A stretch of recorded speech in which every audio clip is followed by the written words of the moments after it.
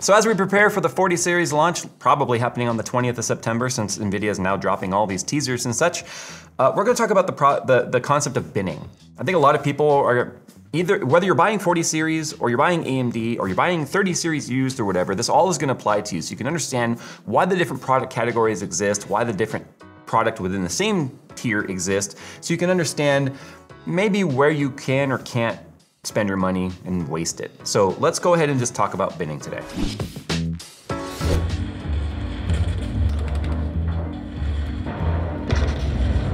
Hey, Jay. Jay. Mm. Jay. What? We got work to do. Yeah, I'm playing World of Warships. World of Warships is the free-to-play naval strategy game where you command the most iconic and famous warships from World War I and World War II, recreated with stunning detail and accuracy. Build your fleet while participating in various game types while upgrading your ship's arsenal along the way. New players who sign up using my link below will receive an exclusive starter pack to get you up and running quickly by receiving 7 days premium time, 1 million credits, 300 doubloons, and the Tier 5 premium ship, the Exeter. So what are you guys waiting for? Start sinking ships with World of Warships by heading to the description below and getting your freebies. All right, so binning has existed as long as electronics have existed. But the idea of binning, listen, we have to give you a visual that sort of makes sense here. And it's funny because the name binning comes exactly from what it sounds like. You have various bins set up and where a product's quality lands, whether it be a CPU, RAM, uh, GPUs, or any type of electronic or ASIC or SoC, period, are gonna land in those bins based on their quality. So let's start with the quality aspect of it because there is an artificial aspect too that we'll talk about here. We'll talk about GPUs and CPUs today specifically because of the fact that new CPUs are on the horizon, new GPUs are coming too. And this is gonna apply to any family, not just 40 series, but 40 series is where people start looking at and thinking about this again. Whenever there's a new family of uh, GPU or CPU that launches gets people thinking, why do all these different tiers exist? When you have your, your silicon wafer, it's a giant, it's literally a wafer. And then they cut those up into different sizes depending on where they're expected to, to be, whether it's slated, hey, this wafer is gonna be creating 4090s now. You have different imperfections that exist in the process. No wafer is perfect. There are imperfections. So they're able to identify those imperfections, cut them out and remove them, then you kind of get what's left over. But sometimes even after a a perfect section of the silicon exists and you cut it down, you still might find very microscopic imperfections that affect various transistors that don't, maybe aren't firing properly or, or activating properly. Um, in CPUs, you might have particular cores that are not acting right or not meeting a certain power expectation or a particular clock expectation. So you have to disable those and kind of remove them. So if you have something that was expected to be a top tier product, not meet that standard, you start looking at what standards they do fit. So it may not fit in a top tier bin, but it might fit in a next tier down bin or two tiers down because each one of these bins have a quality expectation assigned to each one of them. So if you have a CPU that's, because you'll notice there are, from the same brands, whether it be Intel or AMD, you might have an eight core, 16 thread CPU that exists in two different numbers, right? So let's say you might have like a 3800X and a 3800 non-X. Both are eight core 16 thread. The only difference here is potentially between them is gonna be clock speed, and all core clock speed. And that could be for various reasons. It could be because uh, maybe the lower tier product was not consistently meeting the, the expectation of the higher clock speed, or maybe it was taking more power than expected to achieve that, or it just was unstable because of, of, imperfections that can exist. So the way they make it stable and turn it into a product rather than, than negative yield or waste is they slow it down or they put it into a different bin. They might even disable cores on it entirely and turn it into a six core 12 thread product, which would perfectly meet those standards. Which means if you were to like x-ray the product, you might actually see there's cores on there that are dead. And by dead, I mean disabled, turned off, not doing anything. This is something actually that existed for a long time back with FX and Athlon. Because one of the other sides of binning is artificial binning, where let's say hypothetically, the yields are too good. It's, this has happened, it's absolutely happened, and, and this was a, this was actually a great time in CPUs. It was fun to go in and into your BIOS because some motherboards would enable this and activate cores that were turned off. You just took the inherent instability and or problems that may come with that. But if yields are too good, you don't have enough lower tier product and you have to have a full product range. So as a, as a manufacturer, you're gonna go, okay, we've got far too many of our top tier product. We have to go mainstream and we have to fill in that product stack. So they'll take from that bin, artificially disable and make changes to those cores. Theoretically, cores would be transistors for GPUs or actual cores for CPUs. And then they'll place them in lower bins. Then back in the day, like I said, you could get like an Athlon X3, which is a three core, three thread processor. And that's an odd number to create. So you know it's a four core. And I did this once with my daughter's PC. When my, my oldest daughter had her first computer, is actually an X3. And I went in and I found hey, the BIOS is actually giving me core control, and look, I was able to reactivate this core. The problem was I was starting to get random blue screens and stuff, and that's because that core quality, in my instance, was a legit bin where it wasn't meeting the standard out of out of box settings and BIOS settings. Um, and I didn't bother tweaking it and messing with it. But, but had it been one of those CPUs that quite a few of them existed in this era where they were artificially turning them off to make a lower bin where there was nothing wrong with them at all. A lot of people got a, a, a whole core upgrade for free. The same thing happens in GPUs. Although with GPUs, there's very different core die sizes. So you're gonna have like, let's say in Ampere, you have like GA102, you have 104, you have 106, where the number, the bigger the number, actually the smaller the die was, to create your other product stacks. They're still cut from the same silicon. It's the exact same architecture, whether it be you know, five nanometer, six nanometer, eight nanometer, whatever. It's the same overall product that's chopped down. So you could have right now in your system, let's say theoretically a 3060 that initially tried to be a 3070 or 3080 but didn't meet the cut. So it literally got cut into a lower product. And this is how manufacturers will create less waste. This is how they'll create a better yield. Yield means if we have 100% BOM or bill of materials, we have 100% of this product. How much of it is going to be either defective or waste? And you find ways to turn that waste into less waste and more product. That way you are not just destroying raw materials. Now let's talk about when you have different products that exist in the same bin. So for instance, on the table here, I have a, an Asus 10 gigabyte RTX 3080 uh, TUF Gaming, which is a lower tier than the ROG Strix 10G 3080. So these are both 3080s, they're both 10 gig. They're exactly the same in terms of the core design, the amount of RAM, the speed of that RAM. However, they're very different products and, and their cost is different as well.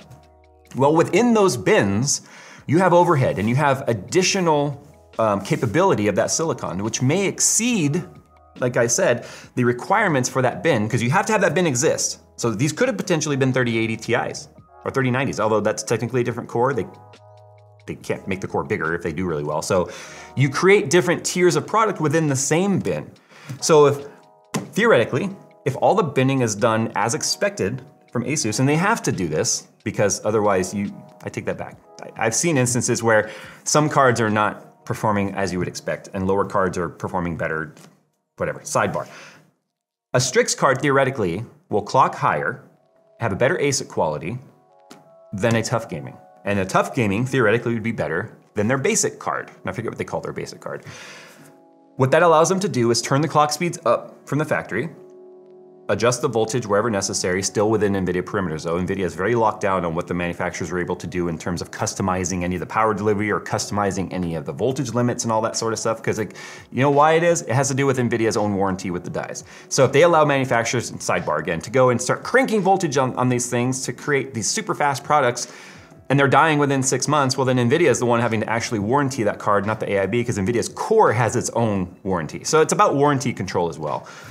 Another video coming about that, don't worry. So when it comes to these particular products right here, you're gonna pay more for the Strix card, although it may only boost 30 megahertz higher, maybe. Now here's a fun fact. Every single card I have ever had from any manufacturer ever in the history of reviewing graphics cards will overclock 30 megahertz. You can go into MSI Afterburner, add 30 megahertz to it, or two bin, two, two bin boost bins, because boost binning is the same thing software-wise. You could add two boost bins, which was 13 megahertz for the longest time with NVIDIA, and you could get the, that core speed, no problem. In fact, you probably get 100 megahertz in most cards. So you have these products that exist independently within each bin to create um, these, these higher products. So for instance, like this is a 1080 Ti Kingpin card right here. A card like this is like the most expensive product stack that like EVGA ever sold. So among like the EVGA hierarchy of cards, Kingpin was always the highest. However, these were custom cards with custom power delivery design, um, voltage control that was technically outside of the NVIDIA control, but that was something that had to be activated and you had to like actually acknowledge you were voiding warranty and all that sort of stuff to get it to activate. However, the Kingpin cores themselves were the highest bin. So they, instead of having your 1080 Ti and that was it, maybe not turned into a a Titan, which technically could have been turned into a Titan Pascal, they created a new category that was even higher and had more overclocking potential and such. So theoretically, these were the highest binned GPUs, which is what Strix is supposed to be and what you know, TUF and all that. Where they land in their pricing is theoretically where the actual bin hierarchy is as well. I say theoretically because like I said, they still have to create Strix cards. They can't have all TUFs because you know, they, they're gonna have to create their product stack. Otherwise, you're gonna be selling one graphics card. Have you ever actually looked at how many SKUs most of these, these brands have when it comes to graphics? Like each brand has at least five or six different tiers of card. You also can't have all Strix and no lesser, more expensive, or lesser affordable cards. So it, it's, it's not just the cooler design, it's not just the power delivery design, or is it three slot? Is it longer? Is it taller? Is it extra power cables and stuff? Because here's the funny thing, even the cards that have 42 power cables are still having to stay within the NVIDIA power spec design. And so they're not actually doing anything other than potentially delivering extra clean power. So it's a way to easily waste money by, by buying expensive. One of the biggest wastes of money you could personally buy right now is a 3060 Strix. Because the extra money of the Strix name would easily pay for a 3060 Ti maybe even a 3070 basic. I would take a 3070 basic card over a 3060 Strix any day of the week. But that's how binning works. And the same thing with CPUs. Like I said, each, each CPU exists because of the fact that the quality of the silicon landed in the expectations of those bins. This is the same reason why I'll get messages from people saying, hey, I followed your guide, but as soon as I add any clock speed or frequency to my graphics card or my CPU whatsoever, it crashes. Well, there's is, there's two sides to, to overclocking and a whole nother discussion, and that's not just voltage, or not just frequency, but voltage. So sometimes you have to add a little more voltage, sometimes undervolt even, because core temperature is another aspect of that. ASIC quality is gonna affect not just the voltage leak, how much voltage is actually leaking out of the ASIC, but how much voltage does the ASIC itself require based on its own ASIC quality? Again, another video. Sometimes things barely make the bin. If they don't have enough Strix, but they need more Strix, again, I'm not saying ASUS specifically does this, it's just an example, they will have a GPU core that barely makes it, barely meets the standard. But what that means to you is unfortunately Silicon Lottery, you've heard that term before, I'm sure, which means it lost the lottery, whereas it barely made the cut, so as you try to overclock it, it starts becoming unstable because of the quality of the silicon itself. And that might seem like a lot of information for people to understand. I'll try and just kind of give you a too long didn't read right now. Um, binning exists because you need your different product stacks. You have binning within binning, or extra bins within a bin, to create their different models. If we were in a perfect world, a Strix card would always clock higher than a TUF card, which would always clock higher than a, the, their, I can't remember what they call their lower tier cards. But that's not always the case. Because like I said, artificial binning takes place where they have to also fill out that product stack. You never know what the yields are gonna be. However, as the manufacturing process goes on, the yields become better because the manufacturing process becomes more refined. and then you start getting better yields and more product and potentially better overclocking and such.